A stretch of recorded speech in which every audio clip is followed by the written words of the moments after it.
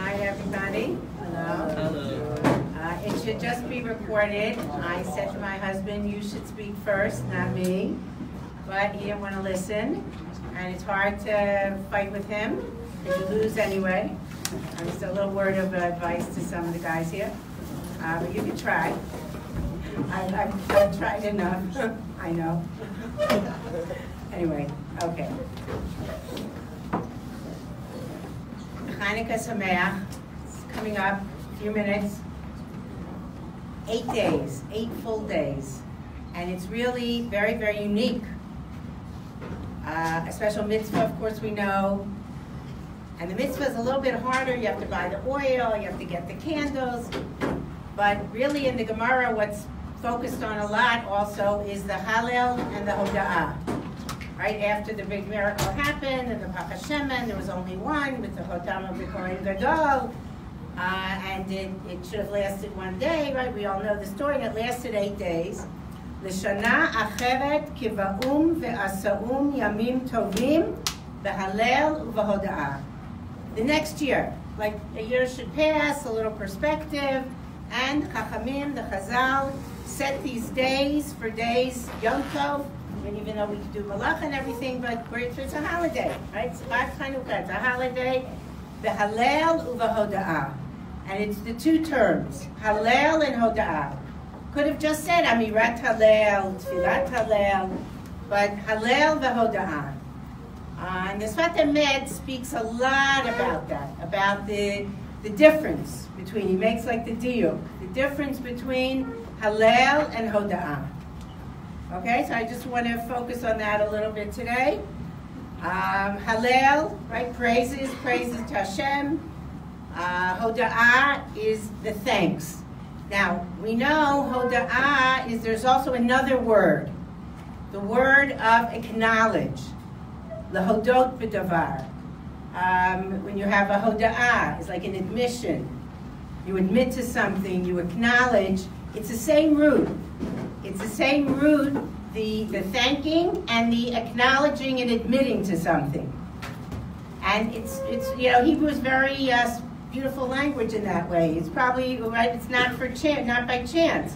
Because you could really only thank when you acknowledge, when you know what it is, when you understand, when you admit that you're nothing, then you can thank Hashem for everything that He gives us. Right? So that's those are two the two different uh, the two different mitzvot in a sense, the two different activities that we're going to be involved in uh, when we say Hallel and in general, Yamim Tovim, Behalel Uvahoda'ah. That's what we're supposed to do.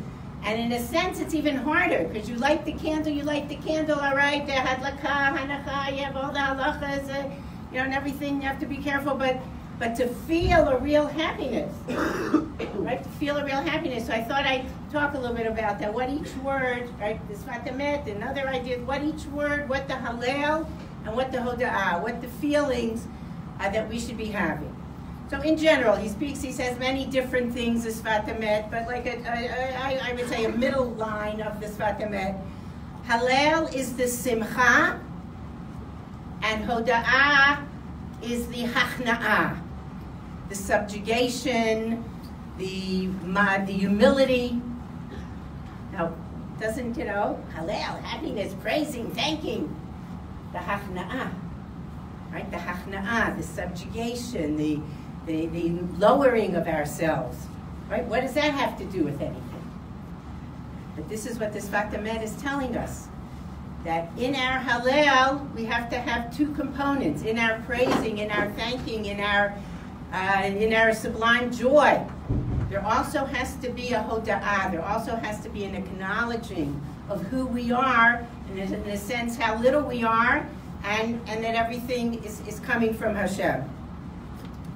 Now, in this uh, Hallel, if we take the Hallel, he also says, when do we have the full joy? When's Chok Pina? When, when is our mouths filled of joy? When, when do we have this great joy? Why do we have this great joy now in the Hanukkah? Why is this the Hallel, the Simcha? Right? We came back to the Beit HaMikdash. Right? We had, right? Purim, and it's, it's the only Chag added on to the Doraita. Right? All the other days that we say Hallel, right? Even Rosh Chodesh, is in the Torah. There's there Karbanat Musaf. The Chachamim took eight days. Eight days that you, you know, just all right. A miracle happened. They were saved, but you know they made a whole big holiday for eight days, and you say, you say Hallel with the bracha. Right? Because because there was such great great simcha at that time because we had a geula. That's why we don't say, one of the reasons we don't say Hallel on, who's paying attention? One of the reasons we don't say Hallel on Purim, right, is because we didn't come back to Eretz Israel. It ended up there in Persia. But here, we're able to come back. We're in Eretz Israel. We came back. We came back to the Beit HaMikdash, and the Emet talks about it earlier. The Maharal, the Ramban, everybody. We really didn't have to go to the Beit HaMikdash. We could have, the, the battles were not in this area primarily. But they felt, all right, we've now overcome the Greeks, right? Then it's the Greeks, it's Iran, it's this, it's, you know, the history repeats itself. Right? We, we've had, we have a victory, but the victory's not over. We have to go back to our place. We have to go back to the Yerushalayim. We have to go back to the Beit HaMikdash. And not just go back there. We have to do the mitzvah. Right? The mitzvah of lighting the menorah right? The lighting the menorah, the menorah that symbol, symbolizes the right, the light, the Torah, everything, Judaism, right? We can't, you know, we have the right. We're, we're coming back. We're coming back to Shalim, but we want to have a, a fuller sense of Geula. Of course, doing it with that that it was right, the Kohen Gadol, and everyone approving what they were doing, but there was a uh, Emet would call it a chukah. There was a passion, a desire. Right? They really didn't have to. Remember, you, I'm sure you learned, right? To Tzibur. They didn't have to. They didn't have the mitzvah to light the kid, right? To light the uh, to light the menorah in Hanukkah. They, they, they, had to light the menorah in those days, right? It wasn't even called Hanukkah, right? They didn't have to do it, but they just felt, all right, we're back. How can we have a victory? Right? We don't only, want a physical victory. We want a spiritual victory as well. And what will, what will the spiritual victory be if we can come back and we can really light the candles, even if we're not fully, we, we don't have to. We're all Tameim. We don't have to light the candles. We don't have to light the menorah. But they had such a, a passion, such a desire to do it that Hashem made the nest. Right? It's really also most of the miracles happen to save us. Right? We're in danger. We're dying. Right? Even this one, Matim. Right? And then the Biat Rabim, Tmeim, Biat Torim. Right? The other way. But you know, and, and Hashem saved us. So, so that would be the miracle. But here Hashem made a special miracle. Why? So we should be able to do a mitzvah. Because he saw how much we wanted at that time, how much Am Yisrael wanted to do it, how much they wanted the Geula to be to be fuller. Right? That he said, okay, I'm going to cooperate, and I'm going to also, uh, I'm going to also help them along. So this is the Hallel right? Great jubilant rejoicing that we came back and we were able to light the, the menorah, the, the nests and everything that's, you know, to, we say Hallel. Hoda'ah, we said, was like the sense of, of a subjugation. Where does that fit in? What, what is that all about? And the Sfat Emet also says when you have a candle or any fire, there are two activities. It lights and it burns in, in the same time, you light, and there's light, and it's bright, and it's beautiful, but it burns the oil. And that in the person, right, as you're lighting, there's sometimes still inside you things that have to be kind of burnt out, things that have to be taken away in order for the light, for your lights, in order for the light to be brighter. And that's that we can only do with the hoda'ah. That we can only do if we really recognize how little we are, recognize who we are, uh, and, and you know, turn to Hashem. I was thinking also, even in the, the davening of Hallel, right? Most of the time you sing and you have these beautiful tunes and the guitar. It's lovely here, the Hallel. You'll have now a lot of days of Hallel. It's great, it's beautiful.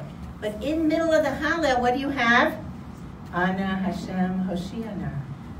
Ana Hashem Hatzlichana in the middle of our joy and, and, and celebration, we also turn to Hashem, help us. We're not finished yet. We're getting started. Help us, Hoshiana. And even if you help us, Hatzlichana, let us be successful, let our ways work. Ana Hashem ani avdecha. I'm your servant, I'm, I'm turning to you. It's not only uh, happiness, but along with the happiness, there has to be this, uh, uh, this uh, subjugation, this uh, lowering of, uh, of oneself. And he, he also, he, he connects, the Sfat Emet connects it, the Hallel is Yosef, connecting it to the Parashiot Shavua. Hallel is Yosef, and Hoda'ah is, of course, very good, right? Yehuda, even the word, right? Hoda'ah, Yehuda, right? Yehuda. Yosef and Yehuda. Because Yosef is the sima, is the symbol of Geula, right? He was the one sent forward and he prepared for Geulat Mitzrayim. He wanted his bones to be taken out, but code code.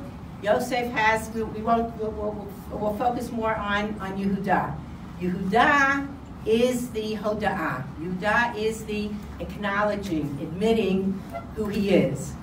And in this parsha that we just read, right, Vayeshev, Perak Lamed Chet, and if you learned it in elementary school, I think we learned it and we skipped it. You know, that's the story, right? Yehuda and Tamar. Yehuda and Tamar. Uh, because of whatever, what happened there. But if we look, if we look, it starts Vayered Yehuda. He kind of went down. He had a he had a decline in who he was. And who did he marry, guys? Who did he marry? A nice Jewish girl? What? You forgot. What? Not a, which which nation was she from? What? Canaan, right? Canaan. Exactly what Rivka told Yitzchak. Oy, Esav, look who he's marrying. He's marrying the Canaanim. Yehuda goes away he needs to go with his friend Adulam and you know the Adulami and this and he and he and he marries a, a Canaanite woman. What is this? What's happening? He's supposed to be the leader. He's the one who's just said, you know, why should we kill? You know, the, the brothers look up to him. Why should we kill him? Let's just uh, say, you know, sell him, right? And the whole that was Yehuda's idea, right? And and here he is. He's he's running off He's running off. He can't take it, whatever, maybe the pressure, too much pressure, whatever. He runs off. He marries a, an Isha Kananit. And then, then they have three sons. She dies, right? And what happens? Worse even, right? What does he do? He goes and he looks for a Zonah, right? Right? He goes and he, can you imagine? Can you imagine? This is the, the, the, the ancestry of, of, of David HaMelech he's going, he's going to look for Zonah. And he finds her. Right, Tamar, who's his the daughter-in-law, who's not the is, doesn't have a yibum, right? He was someone who's supposed to marry her. She has to sit and wait for, for the younger son. And she realizes Yehuda, something's wrong. He's not he's not helping me. He's not taking his responsibility. And she takes life into her own hands. I mean, she had a lot of initiative, uh, Tamar, right? And and I guess Yehuda whatever, couldn't control himself and did whatever he did, right? And then Tamar is pregnant, three months, right? Um, this is what all of you what you didn't learn in elementary school. Um, right? He's, she's pregnant, and and he says, "Oy vey, my daughter-in-law is pregnant. What did she do? She went. She had relations. She's, she's supposed to wait for the younger son. What does she? What does he say? What has to happen to her? You have to get kill her. Now, who's the father? Yehuda, right? Kill her. And what did she do? She wasn't stupid, Tamar. She said, you know, he had to give her something, and he gave, and, and until he could send the gedi, could send the, uh, the, the, the, goat, he gave her what? The stamp. The stamp, and the, the, the, um, the stamp is the chotam, and the ptilim, and the, and the mateh, right? Right? The stamp being the ring, which, you know, his signature, whatever, his signature ring, the ptilim, there are different interpretations, but let's say it's like a, a head covering uh, with, with strings on it, like some kind of scarf with strings, a head, and, and the staff, maybe, right?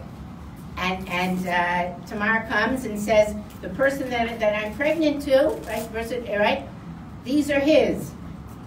And, and Yehuda comes, because Yehuda's the one, right, he's the leader. Yehuda has said what? To kill her.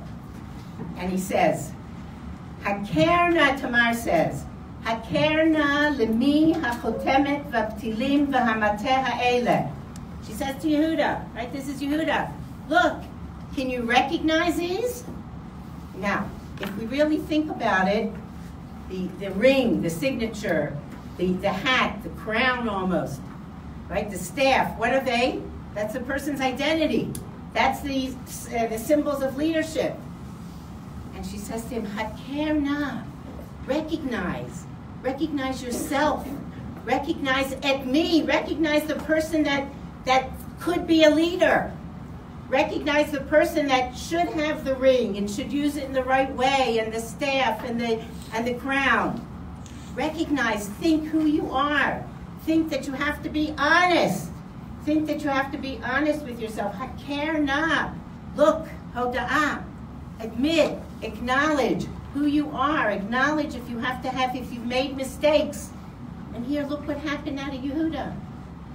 The Malchut, he rises. He's able to, to defend, right, and take the take the leadership of the brothers and save, right, save Binyamin and, and go to Yosef and argue. He gets the strength from this hoda'ah, from this admission, from this looking into himself. And he says, Vayaker.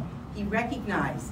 What I'm saying here, and this is not really the Sfat Emet, it's a little bit my own kind of uh, going into the line of the Sfat Emet, that not only did he recognize the objects, he recognized himself. Right? She's telling him, and it can come from anybody. You see, it came from Tamar. Right? But she was the, she gave him that wake-up call. She gave him that wake-up call, I care not. Look, think, recognize into yourself who you are and who you can be. And, and, and he said, right, said, Ka, that she's right. She's, she's more right than I am in, in, her, in, in her approach and what she did. And he took responsibility and he understood who he was.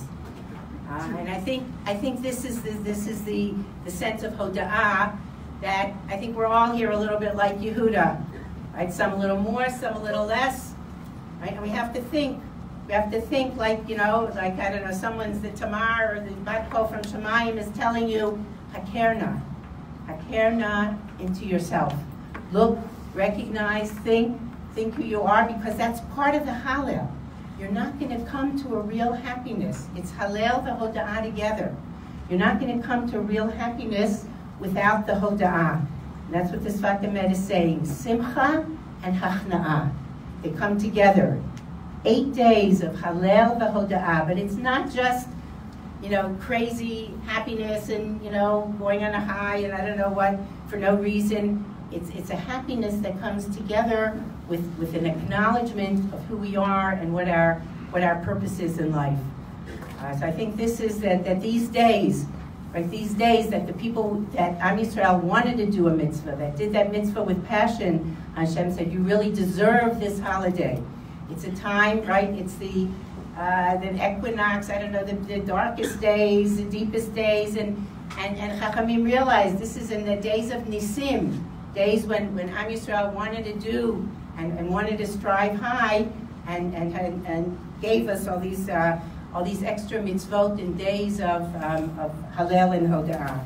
I just want to end uh, another idea of the Sfat Emet that what's the I, I love this in, in Israel uh, that everyone lights outside. You, know, you can light out, well, you might, I don't know, there's some room here for everybody, but like in our house, we're on the ground floor, we get this uh, Chanukiah, we can put it just as it says in the Gemara, right, with Petach Beito, right, you can put it Petach Beito Mi Now, why do you have to put the, why do you have to put the, the um, menorah outside, in the, in the entrance to the house outside? The, the basic reason, the simpler reason, what? Okay, very good. Pirsumei Nisa. That's the, you know, on the, the shot level. What the Sfat Emet says is, look at the word petach. Petach is the word entrance. You enter into some place. From the outside, and I think, I think, you know, some of you are already further in a little, but even if you're in the petach, even if you're in the, in the entranceway, and even if you're still kind of outside, you light the candles and the light of the fire will bring you in. The light of the fire, right, it's petach. It's not just for the halachic reason, although that's the, the technical reason, but we have to think of ourselves as into a petach. Now, we don't just want to stay at the petach. We want to go in, and we want to we want to get involved and, and understand and not just be an outsider. So that's my, I wish everybody really days of Hallel and Hoda'ah, uh, Simchan, Hachna'ah, uh, and, and be at that Petach, look at the Petach, and, and go in, go in. You have, I mean, I know it's the greatest yeshiva, I'm a little prejudiced, but uh, so many opportunities, so many opportunities to really go in, uh, but, but you can't do anything, and as my husband tells you, but I'm, I'm kind of telling it to you through, through you, Dad Tamar, you can't do anything if you don't first do Hakerna. Hakerna, and then with that Hakerna, have the Hallel and Hoda'ah, have the Sufganiyot, have the Hadlakat Nerot, have a great time. Hanukkah Sameach to everybody.